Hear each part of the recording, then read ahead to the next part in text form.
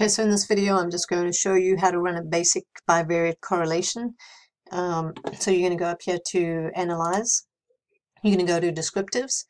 I mean, I'm sorry, you're going to go to Correlate. You're going to go to Bivariate. And you're going to move the variables over that you want to look at the correlations for. Okay, so when your data are continuous, so interval or ratio data, you can click on options and you can do means and standard deviations. Don't worry about cross product deviations and covariances. All right, and you'll notice that SPSS defaults to Pearson, defaults to two-tailed. We'll talk a little about this later. And we're going to flag significant correlations. And we're going to click OK. All right, so this is our output. So here's our descriptives, our means, and our standard deviations. And how do you actually interpret this? So I look at time spent revising, my Pearson correlation, which is my R value, and my exam performance, right? That's my R value.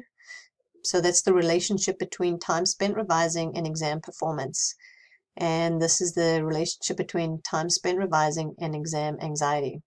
So my sig two-tailed is my significance value, and this is telling me that there is a significant relationship between time spent revising an exam performance as well as time spent revising an, an exam anxiety. Notice this one is positive, this one is negative. So we said a positive relationship implies that as one variable goes up, so does the other. So this is telling me that there is a significant positive relationship between time spent revising and exam performance. So as time spent revising increased, exam performance, percent grade, increased. On anxiety, on the other hand, time spent revising is negative. So as time spent revising increased, exam anxiety decreased. So that kind of gives you a little bit of an interpretation of that. And you can do the same thing with the next three variables.